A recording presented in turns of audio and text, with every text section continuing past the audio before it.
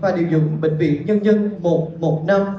Kính thưa quý vị, tiếp theo chương trình xin mời quý vị cùng thưởng thức bài hát Bài ca Người đi xây hồ kẻ gỗ, một sáng tác của nhạc sĩ Nguyễn Văn Tý qua phần song ca của tiến sĩ bác sĩ Trương Hoàng Minh, trưởng khoa ngoại điệu ghép thận và dược sĩ Hồng Mẫn.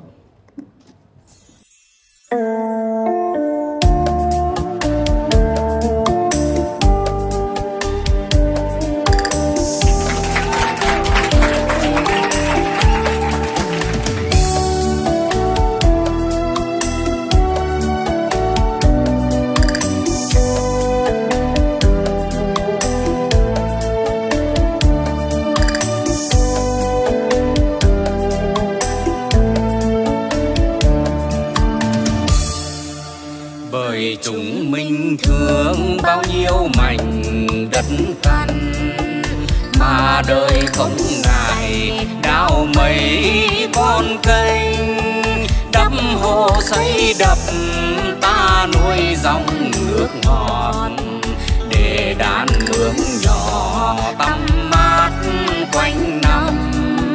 Ruộng đông ta tỏa mơ ước bao ngàn năm.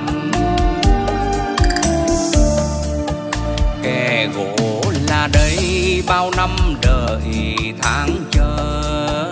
Nay vùng đã bạc, đồi núi lô nhô. Những dòng suối nhỏ theo sông về với biển. Bỏ đồi hoang lại trong nắng, trong mưa. Để người lên hồ như đất kia cằn Aham.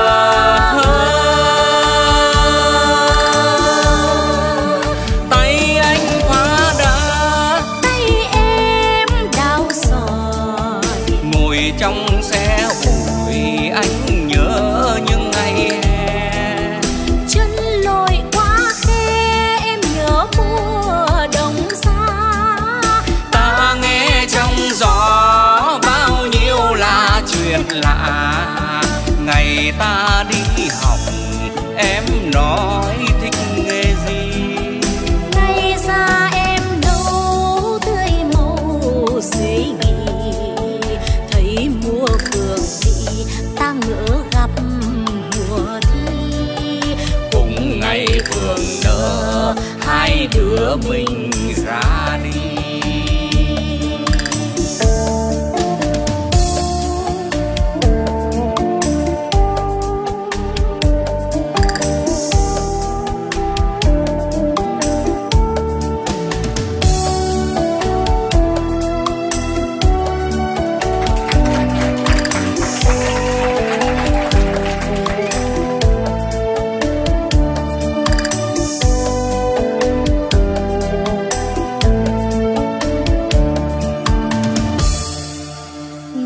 Tịnh minh ơi sông lam giỏi núi hồng. Bạn về theo bạn đào núi, ngăn sông. Đất trời như vẫn vang vang lời trống dùng mặt hồ lay động, nên sóng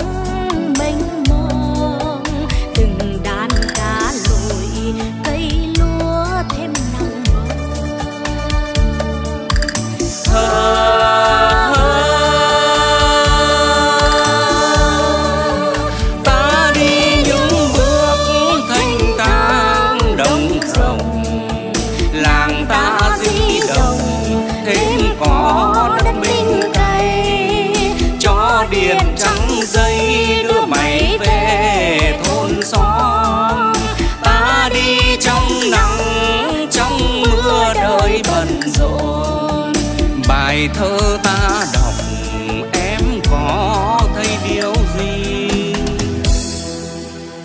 Như da em nâu tươi màu suy nghĩ giống mùa phường thị sao xuyến mong ngày thi cùng ngày phường nở hai đứa mình cùng đi. Hỡi